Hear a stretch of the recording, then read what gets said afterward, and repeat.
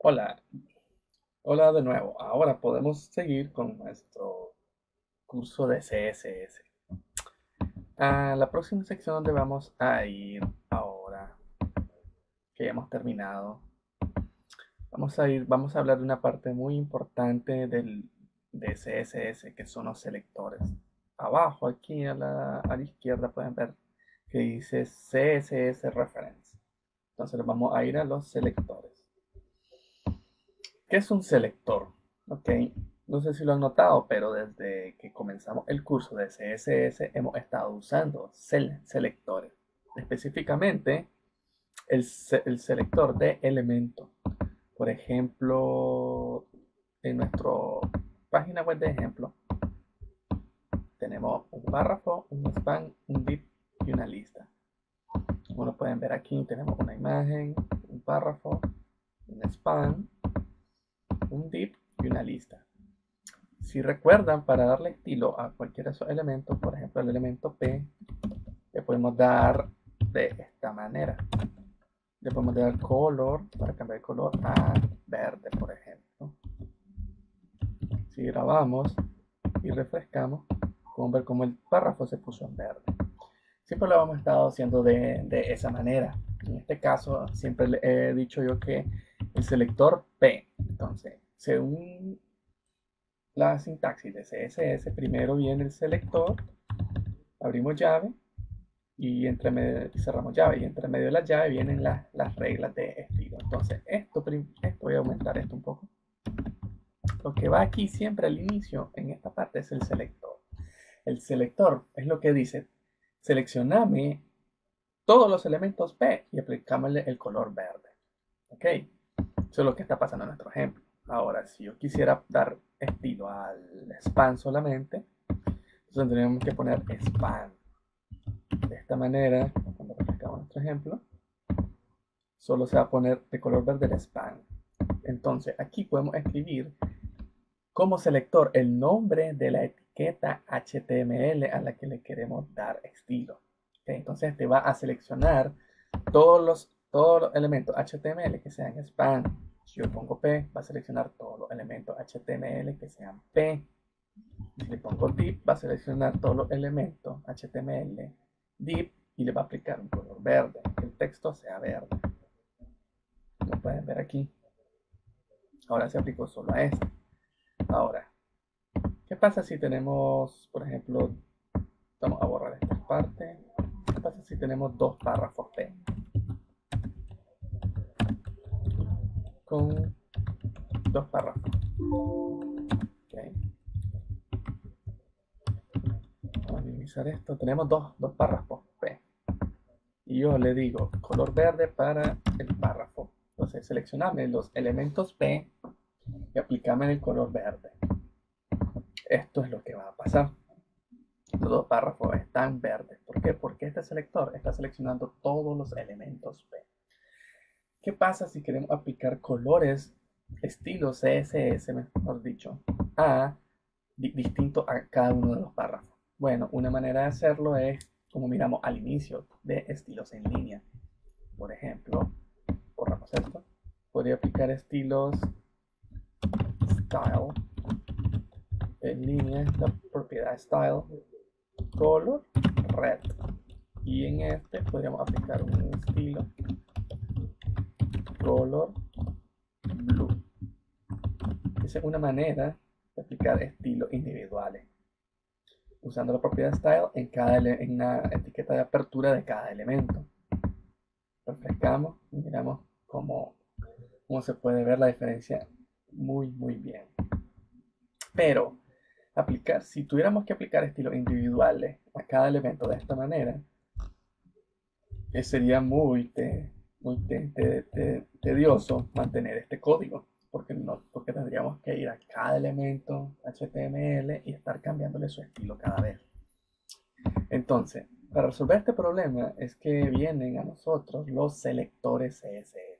Los selectores CSS son un conjunto de, por así decirlo, reglas, las cuales nos dicen de qué manera nosotros podemos seleccionar elementos en nuestro documento HTML para aplicarle estilo. Ok, vamos a ver la, definición que nos da la W3 School.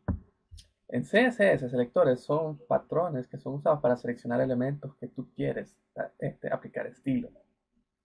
Ah, ok, entonces, por ejemplo, podemos ver aquí en esta tabla como el, aquí en esta columna tenemos los selectores que existen. Tenemos muchos. Aquí tenemos un ejemplo de cómo se usa y la descripción de qué es lo que hace.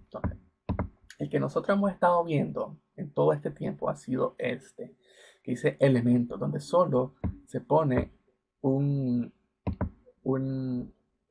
nombre de la, de la etiqueta y dice la descripción del ejemplo. Si nosotros usamos P, entonces selecciona todos los elementos P. Este, este prácticamente el, el selector que nosotros hemos estado usando hasta ahora. ¿Ok? Pero existen otros tipos de elementos. Vamos a comenzar por el de arriba, clases. Punto intro. Selecciona todos los elementos con la clase intro. Ok.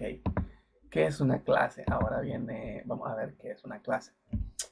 Nosotros, las clases, CS, las clases, es una, es una, es un, es un, es un atributo HTML. Ok, no sé si recuerdan. Um, cuando vimos HTML, en los atributos, digamos que podemos especificar varios tipos de, de, de atributos en dependencia de la etiqueta. Ok, entonces el atributo class se le puede aplicar a todas las etiquetas HTML. ¿Y para qué se usa? Vamos a regresar a los selectores. Ok, digamos que... Ok, vamos a explicarlo de esta manera.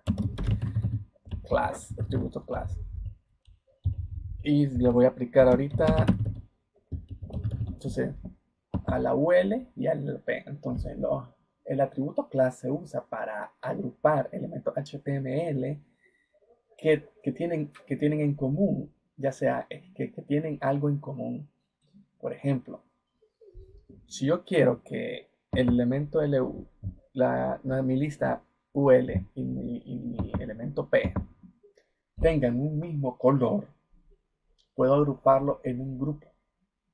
O sea, darle una clase. Por ejemplo, clase, vamos a ponerle... Mm, ver, un nombre muy bueno, muy específico sería color red. Color red.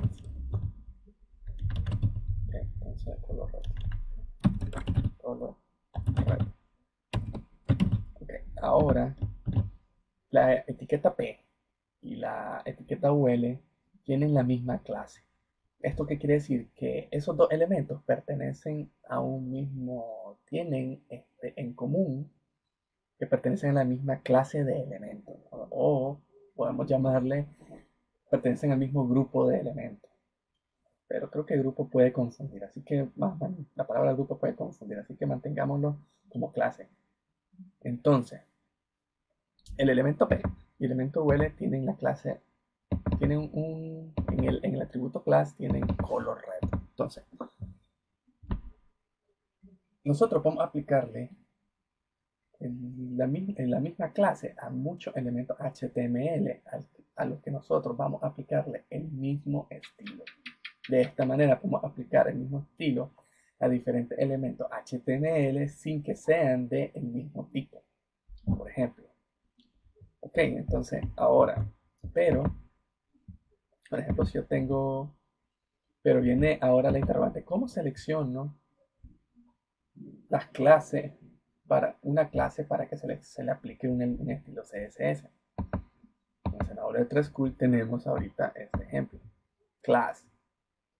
El selector para clase es, voy a aumentar esto un poco, es poner un punto y después el nombre de la, de la clase. En este caso, si podemos ver la descripción, dice va a seleccionar todos los elementos con la, con, con la clase intro. Ok, entonces vamos a aplicarlo nosotros nuestra, nuestra clase se llama color red. Punto color red va a ser nuestro selector abrimos llave, cerramos llave. Entonces aquí voy a aplicarle color, vamos a ver, blue. Si yo refresco esto, ahora mi párrafo P y mi lista van a, tener, van a tener el color azul. Miren cómo pueden ver que solo se aplicó el color azul a este párrafo y no a la lista. Ve, eh, disculpen, se aplicó solo al párrafo y a la lista, pero no a este elemento P que está intermedio. Como pueden ver, ¿por qué? Porque solo los elementos con las clases, con la misma clase, se va a aplicar este estilo. Entonces, esto lo podríamos leer. Seleccioname todos los elementos con que, que contengan la clase color red y aplicámele este. Uy, aquí cometí un error. le puse que el nombre de la clase era color rojo y le apliqué un color azul. Esto no debería ser así. Para que sepan. Los nombres de las clases tienen que describir qué es lo que, qué estilo se está aplicando. Aquí sí debería ser un poco más eh, correcto.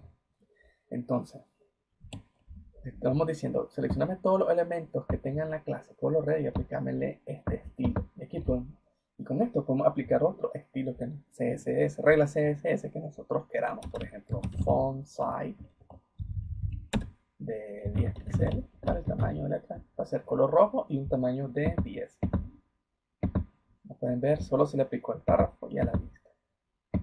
Entonces, las clases son útiles para cuando tenemos varios elementos HTML en nuestra página web. Por ejemplo, aquí tenemos un ejemplo pequeño donde tenemos pocos elementos HTML.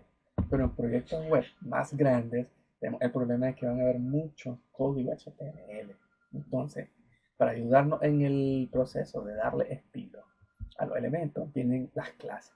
Entonces, siempre debemos de usar, de, de poner la misma clase a los elementos que compartan este, por ejemplo, ciertos, cierta, que, vayan a tener estilos similares.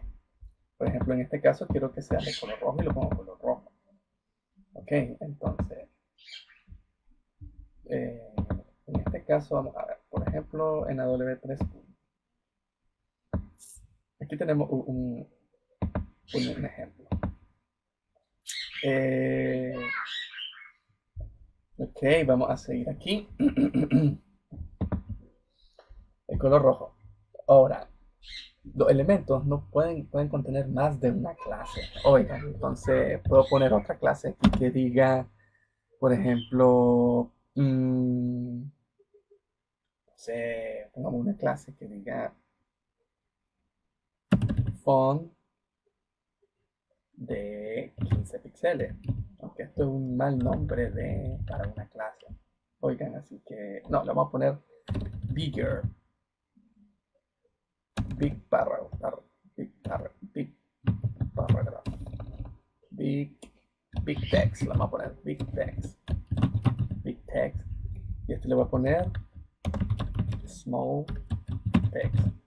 Entonces, ¿qué es lo que va a pasar? Ahorita tenemos este elemento P tiene dos clases, un color red y un big text. Y tenemos un elemento UL que tiene dos clases, color red y small text. Ahora, en nuestro código CSS, vamos a decirle para todos los, vamos a quitarle esto de aquí. Entonces vamos a decirle que para todos los elementos que posean la clase big text, voy a aplicarle un font size de 18, por ejemplo. Y para todos los elementos que tengan la clase small text, voy a aplicarle un font size de 8 píxeles. Ok, entonces refrescamos esto